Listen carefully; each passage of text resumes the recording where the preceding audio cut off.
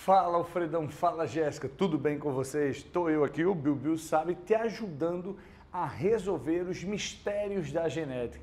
Então, hoje eu quero re revelar para você um dos principais pontos, os mais importantes e que é dúvida de muita gente.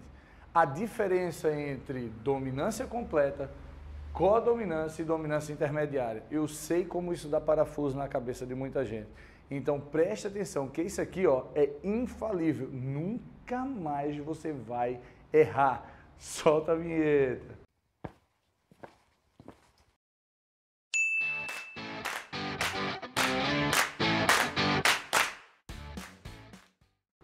Olha para cá. Preste atenção, Alfredão. Quando eu falo de dominância completa, eu acho que isso é o mais fácil, é o mais simples e é a partir daqui que eu vou começar, beleza? Dominância completa são as relações normais de dominância, quando você vê lá olhos castanhos e azuis, beleza? Então, simples aqui. Quando eu tenho um carinha azão, azão, eu vou ter lá, por exemplo, a característica manifesta aqui, ó, como a cor do olho dominante, castanho. Foi? Castanho. Segura até o final. Segura aí. Esse carinha aqui. Castanho. Foi ou não foi? E esse aqui? Azul. Acho que aqui nenhum mistério. Foi? No caso da codominância, eu vou ter aqui, por exemplo, o tipo sanguíneo A. Se eu tiver esse outro aqui, tipo B, e aqui o tipo AB. Ah, Bibi, mas é assim o tipo sanguíneo? Não, eu só estou te mostrando qualquer alelo aqui. Aqui seria isão A, isão A, isão B, isão B, e aqui isão A, isão B. O que eu quero é que você olhe para o heterozigoto, beleza? E enquanto que aqui eu teria, por exemplo, a cor vermelha, aqui a cor branca, e aqui o rosa. Meu eu não consigo enxergar nada de diferente. Não, então olhe para cá, preste atenção. Eu estou te mostrando que na relação de dominância, o carinha que tem o azão manifestará sempre a sua característica quando ele estiver presente. Então, se eu tenho azão aqui, castanho. Se eu tenho azão aqui, castanho. Se não tem azinho, azinho, azul. Então, na relação de dominância, sempre que presente, o dominante manifesta sua característica. Olha a codominância. Tipo A, tipo B e AB. Não existe relação de dominância entre esses caras. Quer dizer que como se os dois fossem dominantes, vamos pensar assim. Os dois vão manifestar sua característica quando em heterozigose. Se eu tenho aqui azão, azão, tipo A, azinho, azinho, tipo B. Se eu tenho os dois, A e B aparecem. Deu para notar a diferença daqui para cá? Quer dizer que aqui, quando eu tinha o A, o azão, no caso, já determinaria ser castanho. Aqui o azinho também tem força.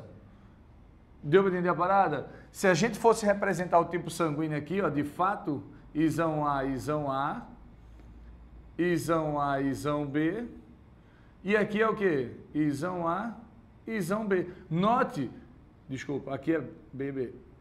Note que aqui, ó, o A aparece, o B aparece. Quando os dois estão juntos, não existe o A dominante. Se fosse o A dominante, aqui seria tipo A também. Note que os dois estão manifestando sua característica. E aqui, eu tenho o vermelho, vamos supor aqui Vzão, Vzão. Eu tenho aqui o branco, Bzão, Bzão. E o heterozigoto, VB, é rosa. Nem é vermelho, nem é branco.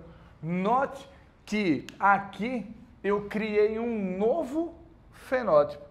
Então, neste caso aqui, eu crio um novo fenótipo. Então, olha o que eu quero de dica para você. Primeiro, aqui, ó, sempre que presente o alelo dominante manifesta sua característica. Foi ou não foi? Deu para entender? Olha a diferença aqui agora. Esse carinha, os dois alelos irão manifestar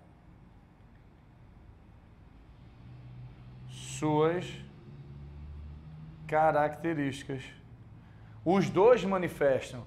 E aqui, qual é a diferença?